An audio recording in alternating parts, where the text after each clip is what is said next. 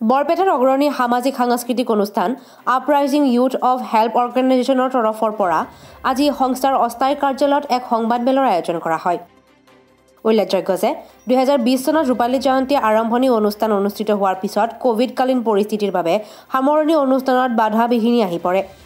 এইবেলি মাৰ্চ মাহৰ বাইছ তাৰিখৰ পৰা একত্ৰিছ মাৰ্চলৈকে সাতদিনীয়া বিস্তৃত কাৰ্যসূচীৰে ৰূপালী জয়ন্তী সামৰণি অনুষ্ঠান অনুষ্ঠিত কৰাৰ যোজা চলোৱা হৈছে।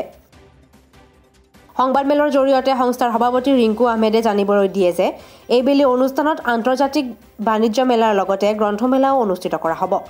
ইয়াৰ উপৰি থাকিব সদৌ অসম ভিত্তিত কুইজ নৃত্য প্ৰতিযোগিতাৰ লগতে বাৰেৰহণীয়া সাংস্কৃতিক শোভাযাত্ৰা আৰু সাংস্কৃতিক সন্ধিয়া। এইবাৰ বৰপেটা চাউলখোৱা বঁটা মৰণোত্তৰভাৱে প্ৰখ্যাত বাঁহীবাদক প্ৰভাত শৰ্মাক প্ৰদান কৰাৰ সিদ্ধান্ত গ্ৰহণ কৰে উদযাপন সমিতিয়ে। আজিৰ এই সংবাদমেলত সভাপতি ৰিংকু আহমেদৰ লগতে কাৰ্যকৰী সভাপতি মুছাৰফ হুছেইন উপস্থিত থাকে। প্ৰটকলৰ কাৰণে আমাৰ অনুষ্টুপীয়াকৈ আমি আমাৰ আৰম্ভণি অনুষ্ঠানটো পাতিবলৈ সক্ষম হৈছিলোঁ। যিহেতু চৰকাৰী নীতি নিয়ম দিয়া আছিল সেই হেতুকে আমি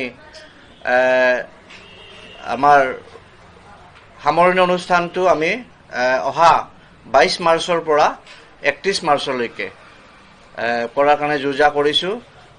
আমাৰ বিশেষভাৱে আমাৰ তিনিদিনীয়া মূল কাৰ্যসূচী থাকিব আৰু এই কাৰ্যসূচীত তাৰ পূৰ্বেই আমাৰ বাইছ তাৰিখৰ পৰা আমাৰ গ্ৰন্থ আৰু বাণিজ্যৰ মেলাৰ কাৰণে আমি যোজা চলাইছোঁ।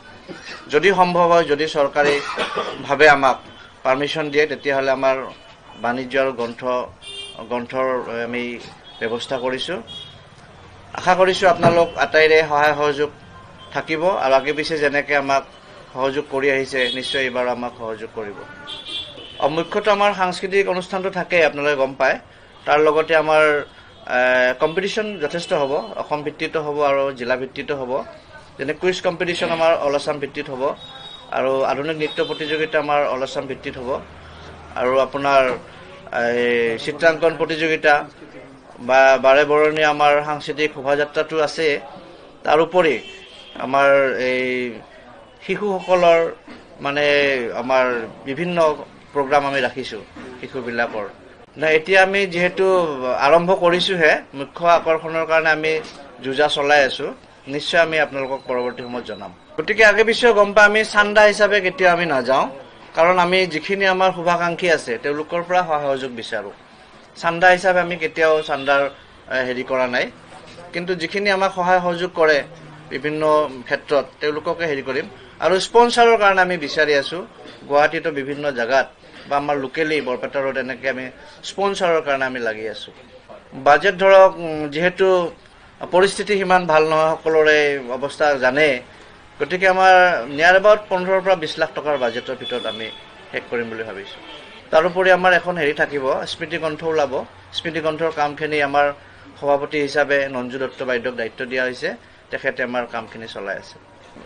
পৰ্যায়ক্ৰমে যিহেতু আমাৰ দুহেজাৰ বিছ চনৰ পৰা আপোনালোকে সকলোৱে গম পায় দুহেজাৰ বিছৰ পৰা কভিড নাইণ্টিনৰ যি প্ৰকোপ সেই হেতুকে যথেষ্ট সকলোৱে আমাৰ নহয় গোটেই মানে মিডিল ক্লাছৰ মানুহখিনিৰ পৰা লয়াৰ ক্লাছৰ মানুহখিনি যথেষ্ট কষ্ট হৈছে।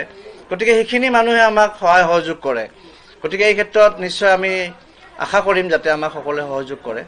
আমি ঠিক তেনেকৈ ভাবিছোঁ যাতে বহল ভিত্তিতে ভাবিছোঁ এইবাৰ যিহেতু আমাৰ যোৱা তিনি বছৰ ধৰি আমি কৰিব পৰা নাই।